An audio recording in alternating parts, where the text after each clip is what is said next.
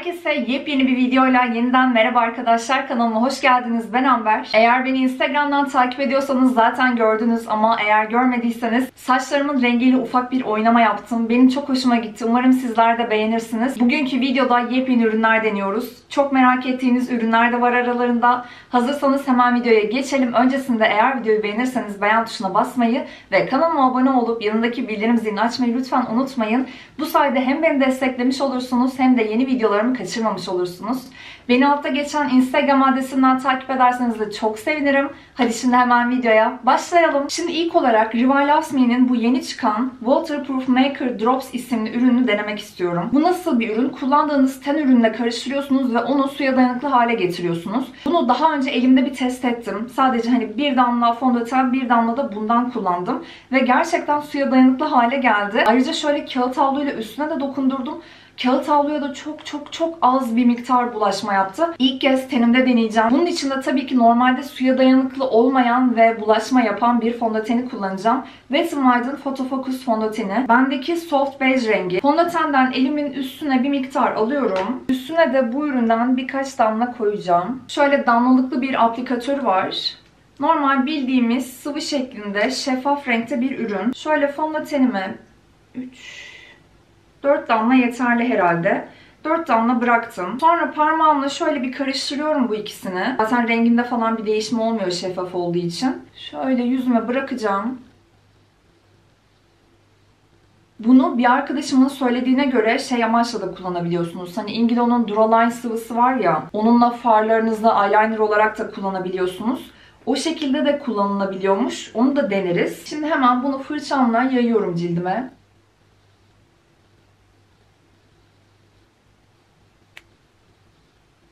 Tabii fondötene bir sıvı eklemiş olduğumuz için e, fondötenin yapısı da birazcık daha sıvılaşıyor. Ama öyle kapatıcılığında hiçbir değişim olmuyor.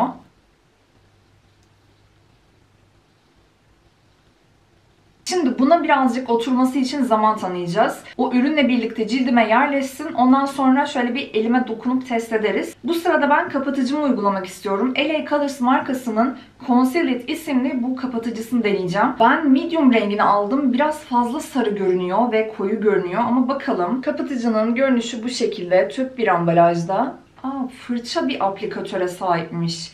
Bu şeye benziyor. Rimmel London'ın bir e, kapatıcısı vardı. Hiç de sevmezdim. Ona benziyor. Yalnız benimkinin ucu mu çıkmış bilemedim. Biraz fazla taşma olmuş. Şimdi şöyle göz altıma uyguluyorum. Oo, bayağı koyu. Bakın şöyle elimin üstüne ne kadar koyu olduğunu görebilirsiniz. Bunu son zamanlarda bayılarak kullandığım kapatıcı fırçamla uygulayacağım. Mix Up markasının P787 numaralı kapatıcı fırçası. Bu arada videoda kullandığım, bulabildiğim bütün ürünlerin linkini aşağıya sabitliyor olacağım. Hemen yayıyorum bakalım. Hmm, yayınca rengi bir tık daha açılıyor. Ve çok da sırıtmadı. Şöyle göz kapaklarıma da ekleme yapıyorum. Şimdi şöyle bir yakından baktığımda kapatıcının mat bitişli olduğunu söyleyebilirim. Hatta bayağı mat bitişli. Hani kuru göz altlarına sahip kişiler bundan çok da hoşlanmayabilir. Rengi turuncumsu, sarımsı olduğu için bence o morlukları güzelce kapattı. Kapatıcılığı orta seviyede diyebilirim. Ortadan yükseğe mi? Çok değil gibi. Bir kat daha geçeyim hatta bir bakalım. Özellikle şu kısımlara. Öyle aşırı sıvı bir ürün değil. Hatta birazcık katıya da dönüyor diyebilirim. Evet ikinci katta da böyle görünüyor. Bence kapatıcılığı öyle çok artırılabilir bir ürün değil. Şimdi pudra olarak Revlon'un Color Stay pudrasını kullanacağım. Bendeki transparan olanı.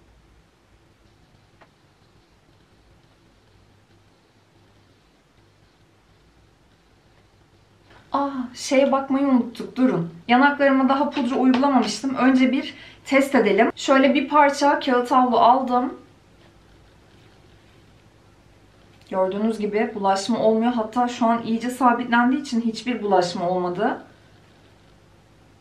Gayet iyi arkadaşlar valla. Ben bunu gidip yedeklerim çünkü biliyorsunuz ki sabitlenip bulaşma yapmayan, dağılma yapmayan şeylere bayılıyorum. Neden bütün fondötenlerimde sabitleniyor olmasın ki?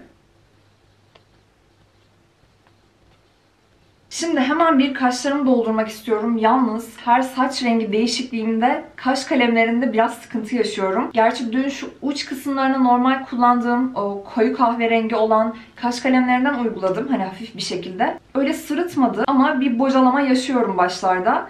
The Balm'ın e, Ferocious isimli bu kaş kalemini kullanacağım. Bendeki light brown rengi. Çok yoğun tutmamaya çalışacağım.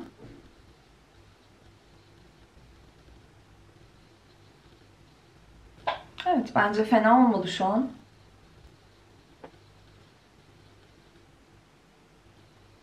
Ve kaşlarımı tabii ki favori kaş jelimle sabitleyeceğim. Lux Visage markasının, doğru okudum değil mi? Umarım doğru okumuşumdur.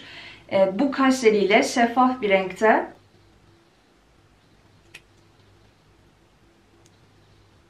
Yüzümü birazcık kontürleyeceğim. Bunun için de uygun fiyatlı çok güzel bir e, yüz paleti kullanacağım. Büşra Pektaş'ın The Pink Elise markasıyla yaptığı bu yüz paleti. Hemen şuradaki kontür renginden alıyorum.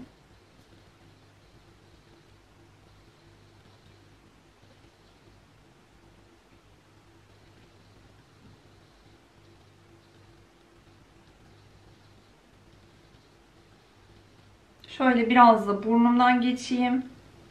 Allık olarak da I Heart Evolution'ın bu Heartbreakers koleksiyonundan Creative isimli allığını kullanacağım. Bu böyle iki renkli bir allık. Bir tarafı turuncu, bir tarafı pembe.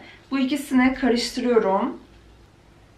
Çok uçuk bir renk bırakıyor benim ten rengimde. Eğer benden daha açık tenliyseniz sizde kendi birazcık daha belli edecektir. Ben de böyle çok silik bir şey hani uygulamışım da uygulamamışım gibi doğal bir görünüm yaratıyor. Hoşuma gidiyor valla. Bugün böyle ten makyajımı varla yok arası tutmak istedim. Yani ten makyajım derken kontürümü ve allığımı. Aydınlatıcı olarak da tam bir fiyat performans ürünü olan Kokoshi'nin bu aydınlatıcısını kullanacağım. Bendeki 2 numarası. Çok güzel parlıyor ve fiyatı çok uygun. Özellikle indirimde denk gelirseniz çok çok uygun. Şuna bakar mısınız?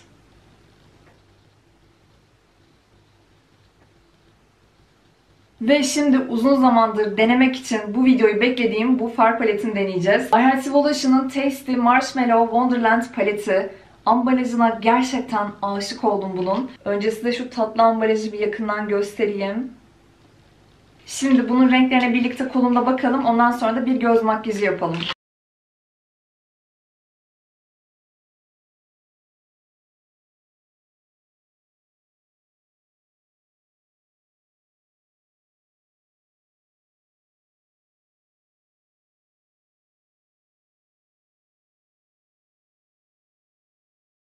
Şimdi bu palet gördüğünüz gibi daha ışıltılı tonların ağırlıkta olduğu bir palet. Toplamda 18 tane rengimiz var. Bunlardan sadece 4 tanesi mat var. Kolumda denediğim kadarıyla pigmentasyonları şahane gözüküyor ve ıslak fırçayla uyguladığınızda da o folyo efektini verecek farlar gibi duruyorlar. Renkler çok güzel. Böyle hepsi pembe, lila, soft tonlardan oluşuyor. Aralarda böyle bir kahveler de var ama genel olarak soft tonlardan oluşan bir palet. Renkler aslında birbirine yakın tonlar gibi görünüyor ama özellikle mor ve lila olanların alt tonları bambaşka duruyor. Sadece palette iki tane aynı renk var. O da şuradaki pembe ile şu sondan ikinci olan pembe. Çok çok yakın tonları. Ama onun dışında dediğim gibi diğer renkler birbiriyle çok da benzemiyor. Şimdi ben birkaç renk kullanacağım bu videoda paletten. Çünkü şu eyelinerları da denemek istiyorum sizinle birlikte. Ben daha önceden denedim ama eğer isterseniz bununla 3 ya da 4 farklı makyaj da gelebilir. Eğer isterseniz yorumlara yazın lütfen. Şimdi ilk olarak paletten şuradaki Strawberry Cream isimli rengi alacağım. Açık pembe ton. Bunu şöyle katlanma çizgime ve birazcık üstüne gelecek şekilde uyguluyorum. Bu aldığım mat far neredeyse hiç tozutmuyor ilginç bir şekilde. Ki I Heart Evolution'ın çoğu far paletinde mat renkler genelde tozutur. Bu ilginç bir şekilde hiç tozutmuyor. Bunu böyle genişçe uyguladım. Şimdi şuradaki Fluffy isimli kahve tondan alıyorum. Heh, bu far mesela birazcık daha tozutuyor. Bunu da şöyle dış köşelere uyguluyorum. Pigmentasyonları gayet güzel gördüğünüz gibi. Şurada birbirine karıştırıyorum ve gayet de kolay karışıyorlar. Şurada Dreamscape diye bir rengimiz var. Çok güzel bir lila tonu. Bundan alıyorum. Işıltılı farların hepsi o kadar yoğun ışıltılı ki ben bayılıyorum I Heart Evolution bu farlarına. Şöyle fırçama da gayet güzel bir şekilde geldi. Önce ıslatmadan deniyorum.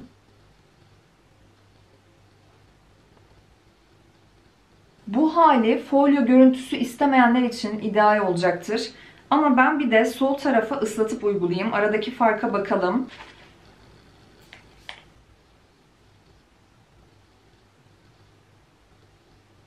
Şöyle iki gözüm arasındaki farka bakın. Çok daha yoğun duruyor. Hemen diğer tarafa da ıslak fırçamla uyguluyorum.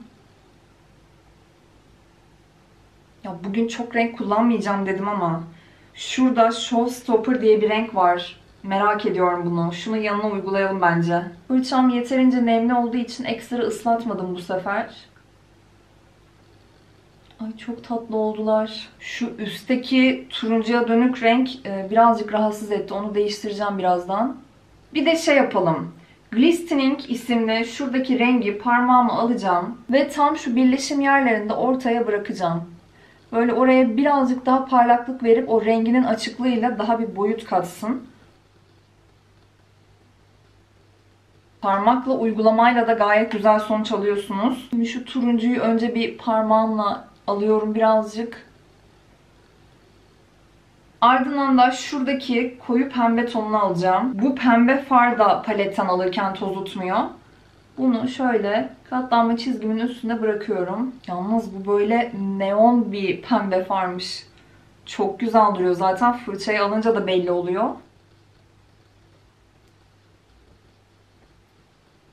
Ay tatlı oldu bence renkler. Pembenin neonluğuna bayıldım yalnız. Şimdi şu az önce kullandığım allıktaki pembe tarafını alıyorum. Bu böyle çok uçuk bir pembe. Bununla kaş altımı birazcık dağıtacağım. Yine renkli makyaj yapmayacağım diye oturup rengarenk bir makyaj yaptığım bir videodayız arkadaşlar. Şimdi şu pembeyi de arttırıyorum. Birazcık da moru arttıracağım. Ay Alt kirpik dibime de üstte uyguladığım neon pembeyi uyguluyorum.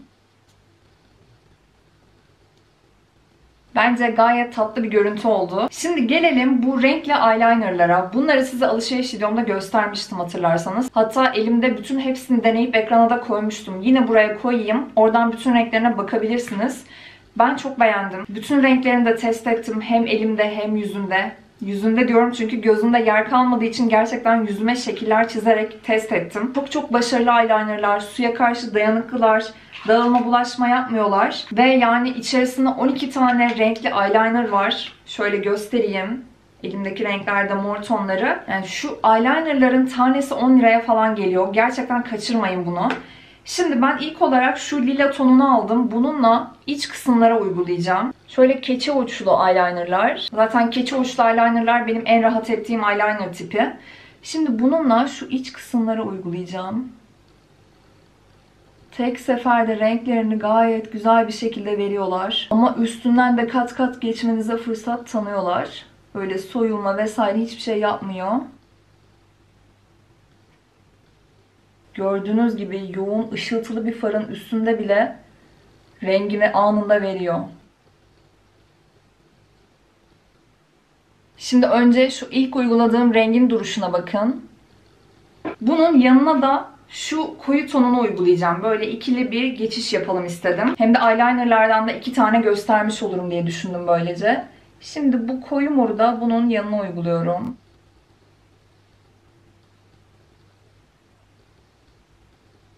Baksanıza çok tatlı durdu ikisi birlikte.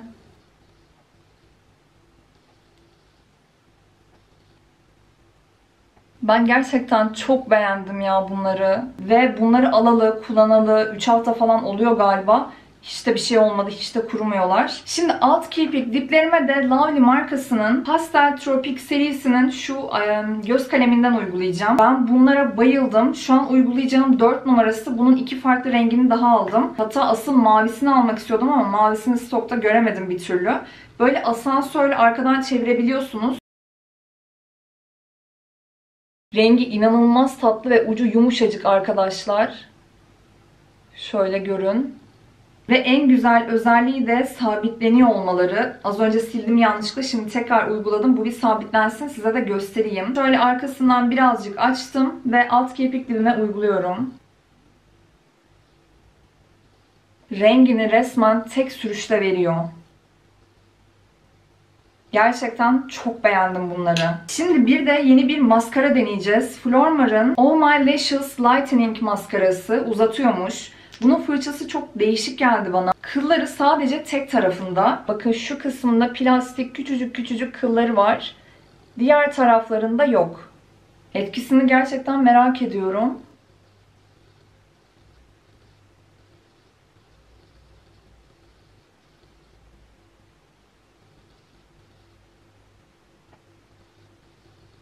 Şimdi size şöyle iki gözüm arasındaki farkı göstereyim. Ben bayıldım. Çok güzel tek tek ayırıyor, uzatıyor. Yani günlük hayatta sıkça kullanmayı tercih edeceğim bir maskara oldu. Açıkçası biraz fırçası yüzünden endişeliydim. Hani istediğim etkiyi verebilecek mi acaba diye. Ama kesinlikle veriyor. Yani zaten vadi uzunluk, uzunluğu da sonuna kadar veriyor. Alt kirpiklere de o kadar rahat uygulanıyor ki. Yani üstte farklı maskara uygulasam bile alta kesinlikle bununla uygularım. Çok güzel böyle naif naif indiriyor böyle kirpikleri. Başarılı buldum vallahi maskarayı da. Şöyle temizleyeyim biraz bulaşan yerleri. Ruj olarak bugün bir lip gloss uygulayacağım. Farmacy'nin çok sevdiğim bu lip gloss'u. Nude for All serisinden 01 Nude Flirt rengi. Asla dudakları birbirine yapıştırmayan ve rengi çok güzel olan bir lip gloss bu.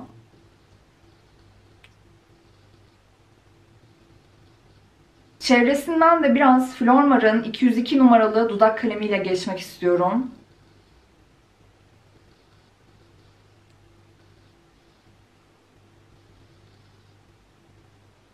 Oluşan şu dolgun dudak görünümüne bakar mısınız? Çok iyi. Makyajı biraz sonra göstereceğim. Denediğimiz ürünler hakkında kısaca geçmek istiyorum. Rival Asme'nin bu Waterproof Maker Drops isimli ürününe bayıldım. Kesinlikle yedeklenecekler listeme girdi. Yani sanıyorum hepimiz maskeyi bulaşmayan fondötenleri daha çok seviyoruzdur şu son zamanlarda. Ve bu o iş için mükemmel bir ürün. Kapatıcı yani biraz fazla çizgilenmiş gibi görünüyor. Hani benim kapatıcılara karşı öyle çizgilenmesin kesinlikle gibi bir isteğim yok. Çünkü eğer zaten çizgi, kırışıklık varsa mutlaka az da olsa dolacaktır diye düşünüyorum ama bu biraz fazla belli ediyor sanki. Bunu birkaç kere daha deneyip size güncelleme yapmak istiyorum. Şu an çok hoşuma gittiğini söyleyemeyeceğim. Far paletini çok sevdim. Özellikle ışıltılı renkleri. Ben olsam o 4 mat farın yerine farklı farklı renkler koyardım. Birazcık daha soğuk alt tonlu renkler koyardım. Çünkü palette herhangi bir soğuk alt tonlu mat far yok. Dolayısıyla hani gölge vermek isterseniz, farklı bir renk kullanmak isterseniz mat far olarak başka bir paletten yardım almak durumundasınız. Ama onun dışında ambalajı, içindeki renkleri gerçekten muhteşem. Bu renkli eyelinerlara bayıldım. Tam bir fiyat performans ürünü bunlar. Kaçırmanızı hiç istemem. Çok eğlenceliler. Ve gördüğünüz gibi renklerini gayet güzel veriyorlar. Kalıcılıkları da harika. Dediğim gibi suya dayanıklılar ve akma yapmıyorlar. Lovely'nin bu göz kalemi de aynı şekilde sabitleniyor. Suya dayanıklı ve akıma bulaşma yapmıyor. Elimdekini e, test etmeyi unuttuk. Bakın hemen yapıyorum. Hiçbir şekilde dağılmıyor etrafa. Çok iyi. Maskara beni şaşırtarak gerçekten çok güzel çıktı. Böyle bir beklentim yoktu. Benim günlük kullanmayı sevdiğim maskaralardan biri olacak belli ki. Ve başka da bahsetmediğim ürün kalmadı sanıyorum. Şimdi hemen yakına gelip makyajı size detaylı gösteriyorum.